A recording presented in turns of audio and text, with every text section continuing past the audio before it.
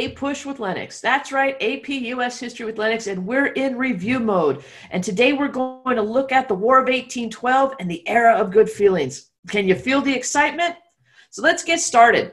When we talk about the era of good feelings in the War of 1812, we're going back to the early 1800s. And prior to the War of 1812 getting started, America was struggling to stay out of the conflicts of Europe.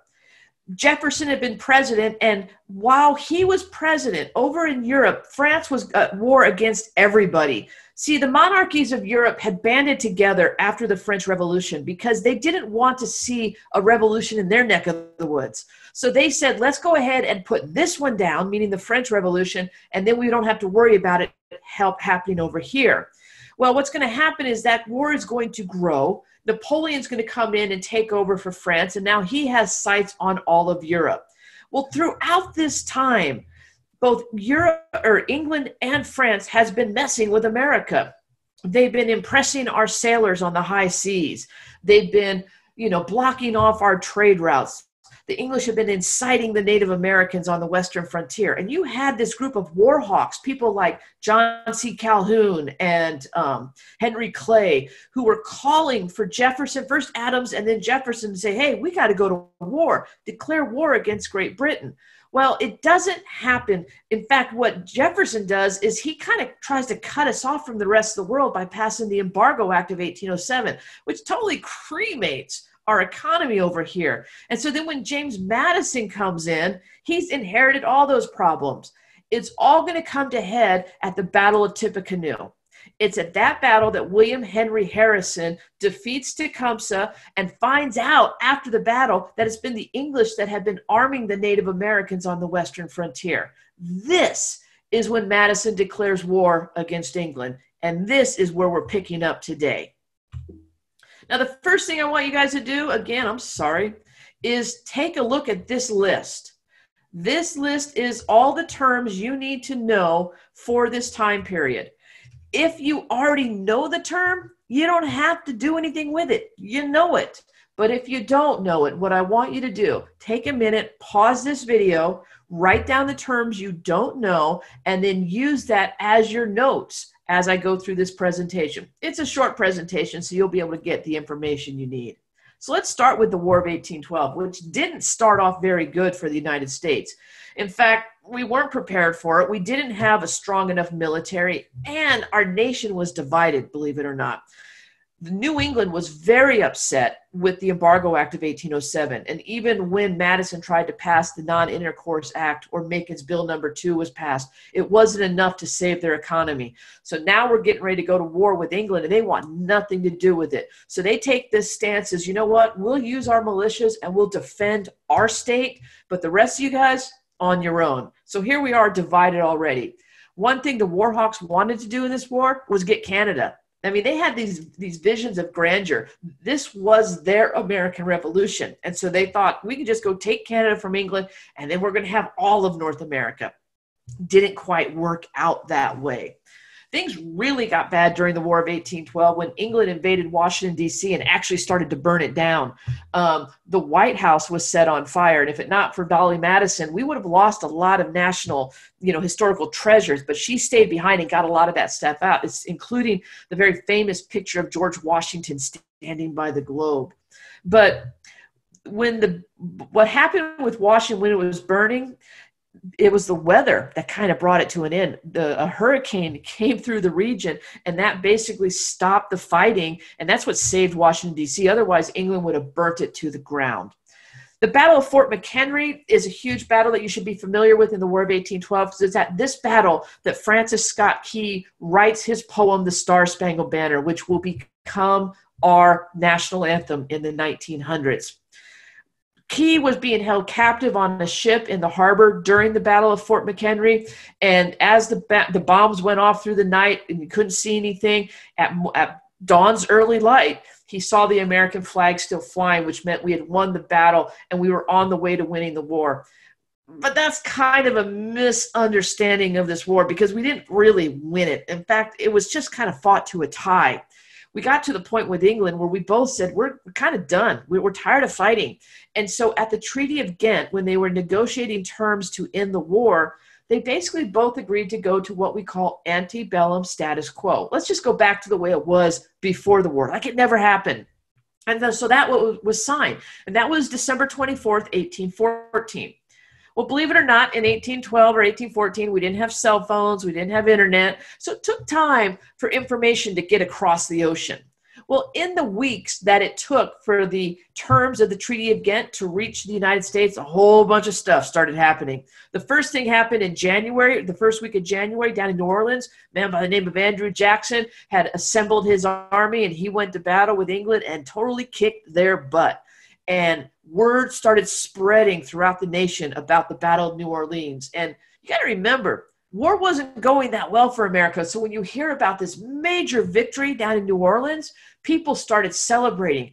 And then they hear about the treaty. So they kind of tie the two together like, oh, we won the Battle of New Orleans. Oh, the Treaty of Ghent. We must have won the War of 1812.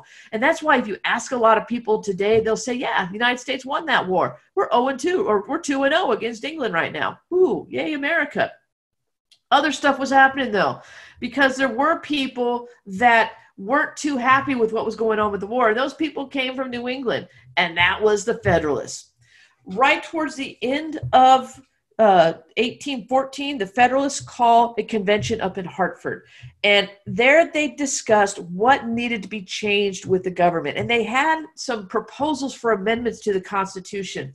Some of these amendments included um, you had to have two thirds majority to institute a tax, a two thirds majority to declare war. This is a majority within Congress. And these are the kind of ideas they were coming up with. Well, there were some radical members of this convention who said, you know what?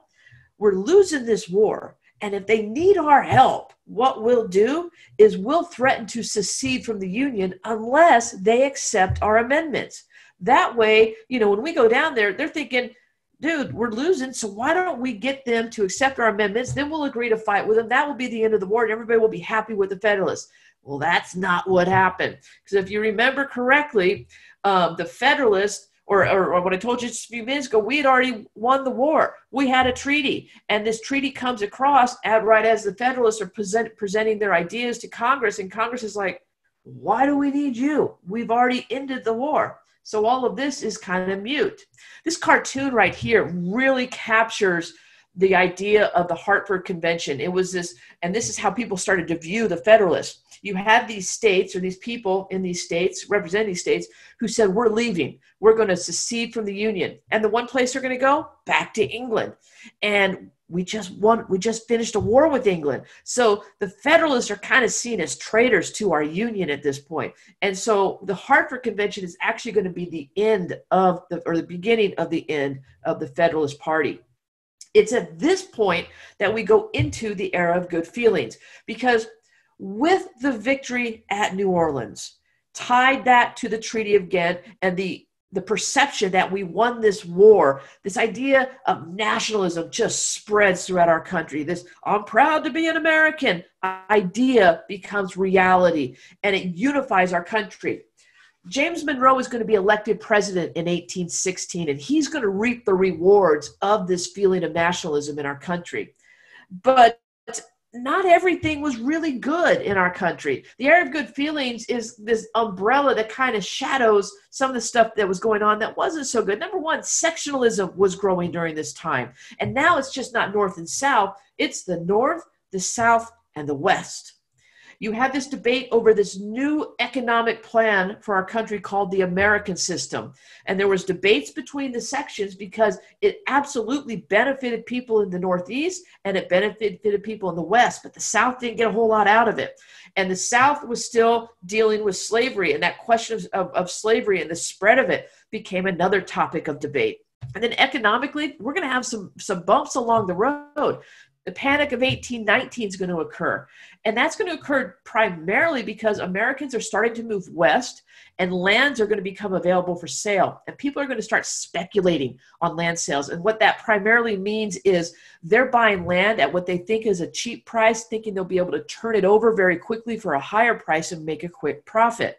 Well, the land didn't hold the value. So they went and they bought all this land then they couldn't sell it for the price they needed and they defaulted on their loans. And when that happened, banks started closing. And when banks start closing, businesses start closing following that. And we go into an economic panic. And that's what happened in 1819. But because of this era of good feelings, because of this sweep of nationalism, Monroe is not going to be held responsible for the economy going into the election of 1820. Pretty much the only time this has happened in history. And if you look at this map right here, there was nobody running against him. In fact, notice there is no Federalist Party anymore. You have John Quincy Adams that's running as an independent Republican, but we are a one party country at this point going into the 1820s.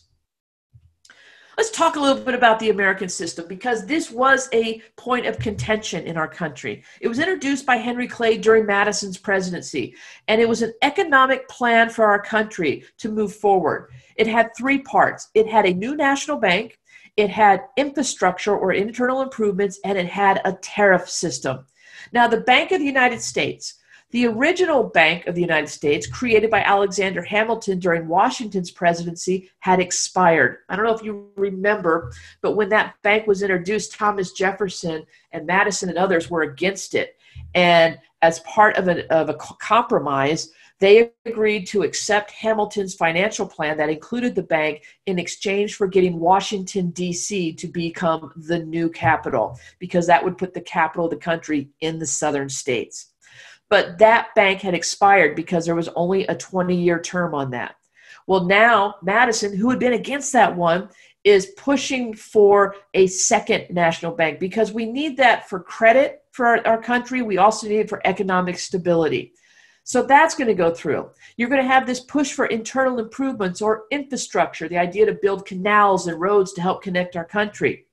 This was a very big point of contention because it only was going to benefit the West and the North. There was no real infrastructure plan for the South. So while you had senators and congressmen from the North and the West, and the West supporting this, the South was kind of left out.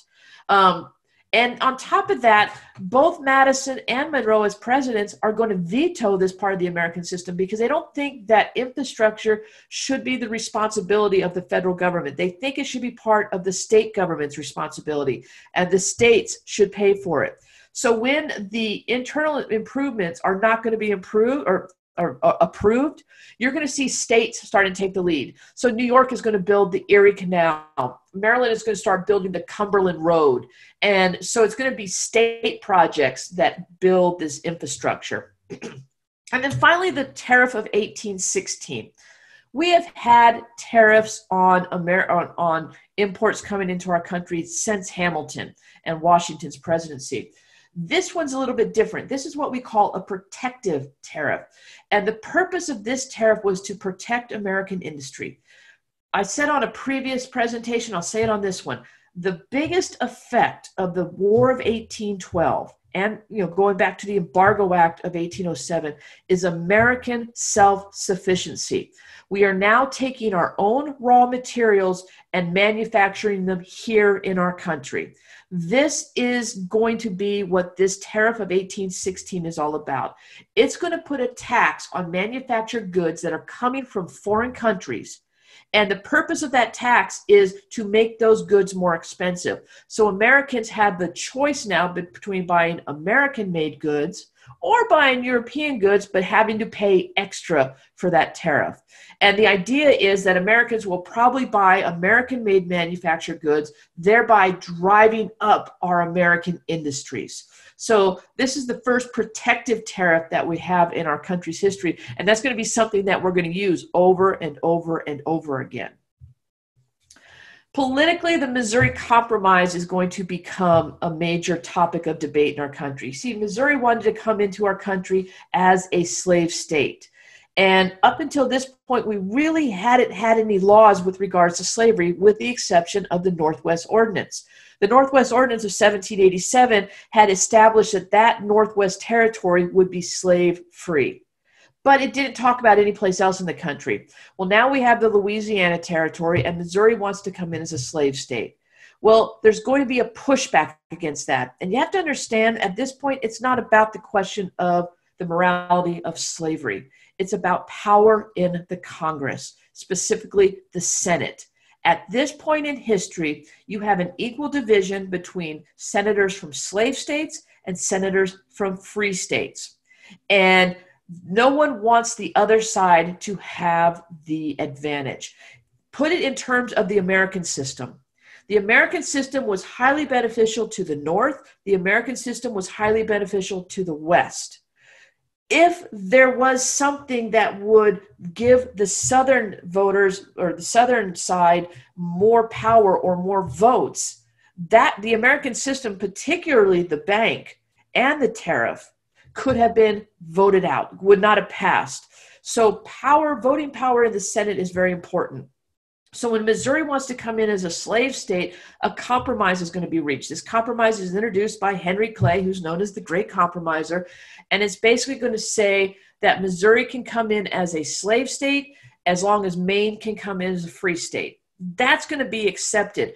Now, there had been some ideas leading up to it. The Tallmadge Amendment had suggested just letting Missouri come in as a free state, but ha- or a slave state, but allowing for gradual emancipation.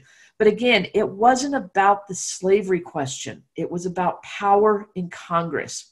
So the Missouri Compromise is going to be passed, and it's also going to look to the future. It's going to set this, this boundary, this 3630 line, and you can see it in the right here in the screen here, this line right here. And basically, what it said was from this point on, for the Louisiana Territory, every state that comes in above or north of that line will be a free state. Every state that comes in beneath or south of that line will be a slave state. This compromise is going to be accepted by both houses of Congress. It will be passed and signed into law by uh, President Monroe.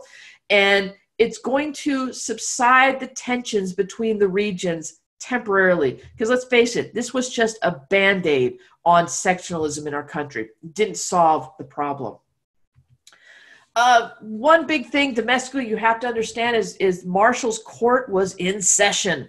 In 1803, we had Marbury v. Madison, which established the rule of judicial review that the or that the the um, Supreme Court had the power to determine the constitutionality of laws, and that increased the power of the judicial branch.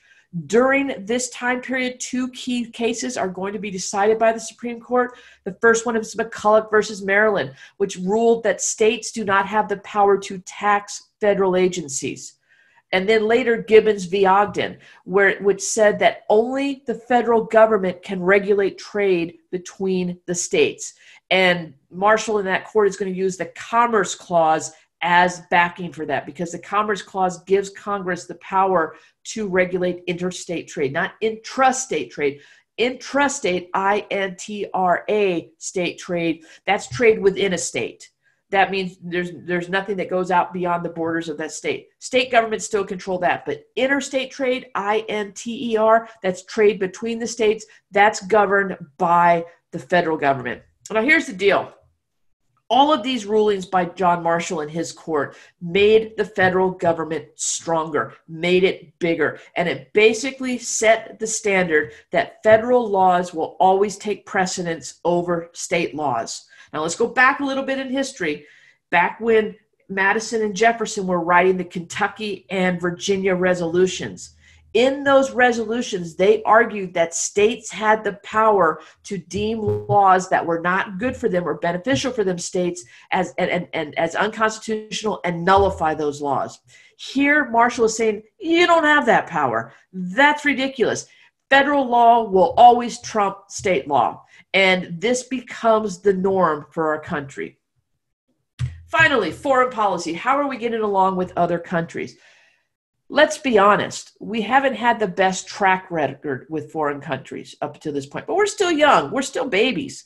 And so, Secretary of State John Quincy Adams, son of John Adams, is going to come in and he's actually going to build stability with foreign affairs in our country. John Quincy Adams, not the greatest president, really probably one of the worst, but really good Secretary of State.